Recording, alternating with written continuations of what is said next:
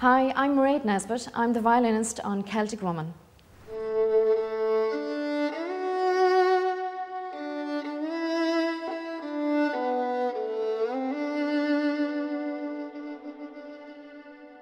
I first picked up a violin when I was six. I was a bit of a late starter, actually. And uh, I was too busy playing the piano when I was four, and uh, I loved the tin whistle actually as well. So, but I was very eager to start the fiddle actually and violin uh, because my mother is a, is a fiddle player, so I, I really wanted to get stuck in there with playing a few tunes with her.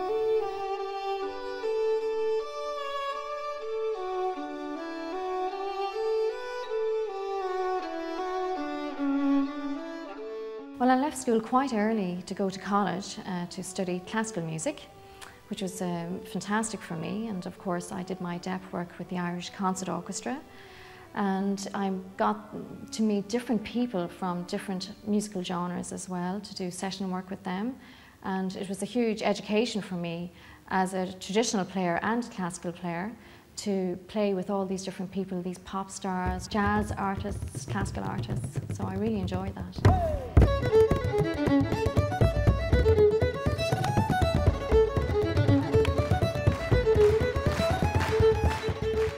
After my five years with the Irish Concert Orchestra, I decided to go solo really. I wanted to branch out myself and I really had a hunger really to play with different people and also do solo work myself. So I did the different shows. I was with Michael Flatley's Lord of the Dance for a good few years as fiddle player with that show. And Feet of Flames, of course, another Michael Flatley show.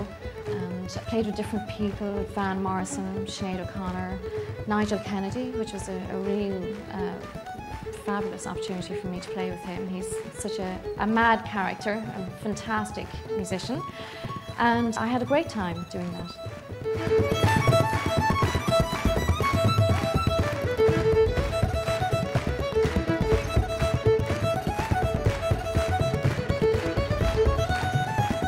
What I really enjoyed about being Celtic Woman was the broad scope of musical styles in the show. Of course, it's very contemporary and very mainstream and accessible to people. And then you have the traditional element. And of course, you have the fantastic orchestra, the beautiful choirs, you know, and it was so enjoyable for us to do as artists.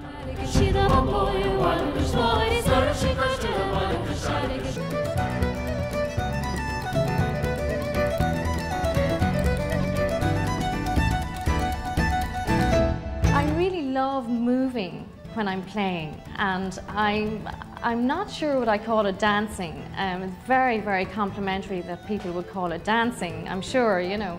But I'm just really getting into the music. I love moving around when I'm playing and I love moving around the stage and of course Celtic Woman gave me a fantastic platform to do that and the stage was amazing, it was very challenging, you know, the, the, the way it was designed and I really, really loved it.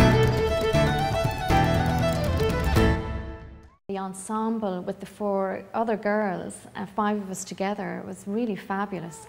And it gave a different texture for me as, as an instrumentalist as well, because I'm used to working with one vocalist. So to work with four was really special for me, especially in Jesu Joy of Man's Desiring, and of course You Raise Me Up, which was really special for all of us.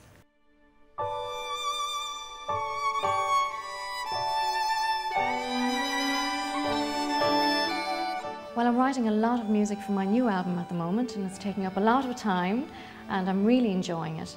And um, a lot of the music actually is traditional and a lot of it is original, of course, as well. And I, I love writing original music in the traditional vein and slightly in the classical vein as well, for different combinations, for fiddle, and with violin and a small chamber group as well. So I'm really enjoying that at the moment and I, I hope people will enjoy it as well.